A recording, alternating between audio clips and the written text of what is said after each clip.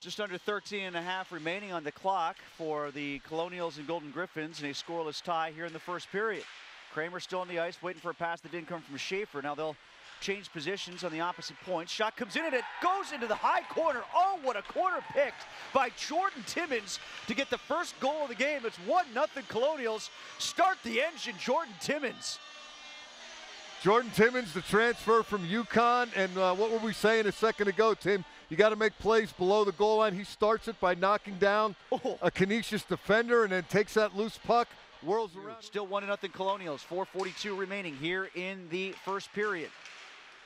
Adamo coming in with Timmons, who has the goal. Shot scored! Justin Adamo, Adamo Lama ding dong. And it's 2 to nothing. Colonials out in front. Go to the net and let it rip. That's what uh, Justin Adamo didn't do enough of last night. And uh, no doubt uh, that suggestion was made to him. And good, clean breakout that time. Beating Barczewski and giving the Colonials a 2 0 lead. Both faceoff men fall to the ice. And now we got a whistle. I wonder if we got a penalty here on the faceoff. They might send both of them. Do you think, Mike? And somebody threw an elbow on the faceoff, I think is what they're saying. Is that the indication you got? Either that or the, uh, not just after losing last night, but the particulars that he outlined for us. Graval to Mastrodonado. Shot. Oh, just missed. That hit the post. Or just get a piece of Lubesmeyer, maybe? I, I couldn't. The wall to pass it into Perkusic. Drive coming from Hartikainen. Gets it to Hartikainen. Shot and another save by Barczewski. Wow, the athleticism on display from Barczewski. Great saucer pass by Perkusic. Better save. Mastrodonado setting up as one of the Golden Griffins went flying into the end boards.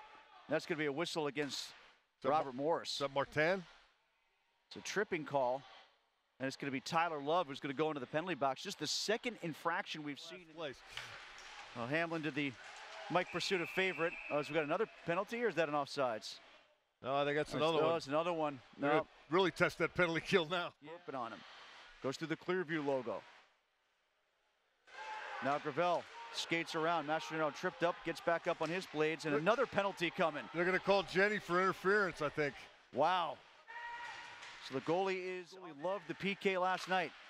Meyer gets it down low. Lubesmeyer, that one gets by him. Vertinen scores. He's had a lot of opportunities today and throughout the weekend. Now Vertinen gets his first goal as a college hockey player. They like it in Pori, Finland, and it's two to one as the Golden Griffins have drawn a little bit closer on the five on three. A lot tonight.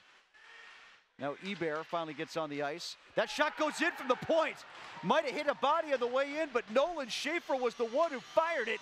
And if that's a goal that goes cleanly to Schaefer, it's his third point of the afternoon. Nolan Schaefer, two on one if they hurry for the Golden Griffins. Shot comes in and a score. A response right away for Canisius as it's now three to two. That looked like Mitchell Martin who's going to get credit for the goal as he streaks into the zone. Lots of offensive speed on that rush for Canisius, and it's three to two as they answer right back after the RMU goal. Look at the speed entering the offensive zone, Mike. It, it- but the Colonials have three back. They've got everybody covered. As Adamo, Iber, and Timmons all have goals, and now we got a whistle behind the play. Is this going to be the first power play chance for the Colonials tonight? It Colonials will. screaming for a high sticking penalty. Somebody knocked uh, Jordan Timmons' helmet off. And it's kicked away, and here's a chance coming shorthanded for Graval if he can hurry. Graval trying to catch up to it. Shot coming in on Lubesmeyer, and they're going to call it a goal. Shorthanded, the net comes off. Let's see if this one gets reviewed.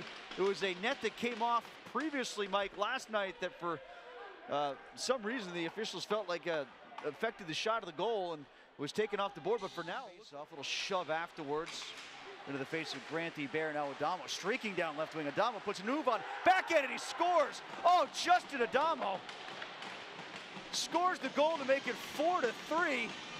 Vive la France! Justin Adamo gives the Colonials the lead back. He's. Swooping his way through the defensive zone. Deflection shot, rebound, score.